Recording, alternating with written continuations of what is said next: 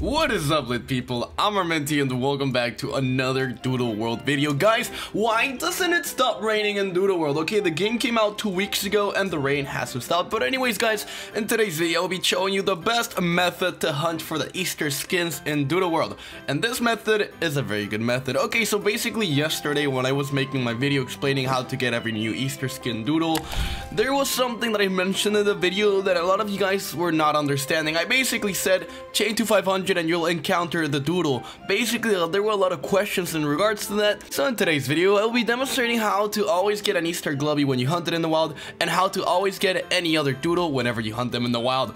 Okay, basically right now, if you look at the bottom right part of my screen, I have an active 498 Riffrath chain. What does this mean? This means that I've killed 498 Riffraths in a row. And Doodle World made it so that if you're trying to get a specific Easter skin in the Easter event, and if you're having trouble encountering one, just chain it, and the more you chain it, the more chances you have of appearing, and eventually when you reach the 500 chain, the next encounter will be confirmed the Easter skin. Right now, let me just finish my Riffrath chain, and you're gonna be seeing how the next Riffrath that that I encounter will be an Easter one. Okay, so let me just do a time lapse.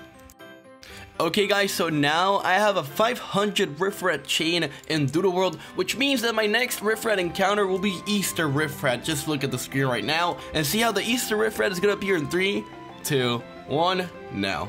There we go guys, literally told you, if you don't get the Easter skin of a doodle you're hunting, you just keep chaining it and keep chaining it and keep chaining it and eventually you'll find the Easter skin or whenever you hit the 500 chain on the doodle, you will always encounter the Easter skin. You know guys, the best part of this is that every encounter after this is gonna be an Easter Riffrath, so my next encounter with Riffrath is gonna be an Easter Riffrath, the same with the next one and the next one. This will eventually stop whenever I capture the Riffrath, and this method actually works with every single doodle in Doodle World but Glubby. Instead of having having to chain 500 glubbies, you only have to chain 50 glubbies. Here's a video demonstrating what happens when you have a 50 glubbie chain in Doodle World during the Easter event. So basically, you guys, if you want to find the Easter Glubbie skin in the world, that's how you do it. If you want to find the Easter skin of any other doodle in the world, that's basically how you do it. This method takes a lot of time, but the best part is that it's free, so if you have time to grind, if you have time to play the game and repeatedly chain the doodles, you will be able to find the Easter skins in Doodle World. As always, guys, these skins also appear in the roulette, so if you have Robux to spend, you can also do that.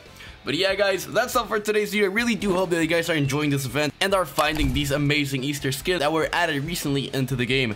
Thank you guys so much for watching this video. I'm Armenti, and we lit.